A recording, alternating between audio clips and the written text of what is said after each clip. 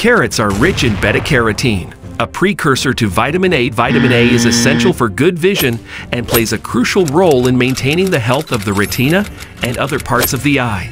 Consuming carrots and other foods high in beta-carotene may help prevent conditions such as night blindness and age-related macular degeneration, AMD. Green tea contains antioxidants known as catechins, particularly epigallocatechin gallate, EGCG. These antioxidants help protect the eyes from oxidative stress and damage caused by free radicals.